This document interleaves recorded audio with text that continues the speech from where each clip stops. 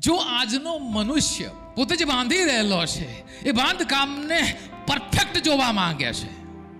એની પાસે એક નકશો છે. એ નકશા પ્રમાણે જોવા માંગે છે.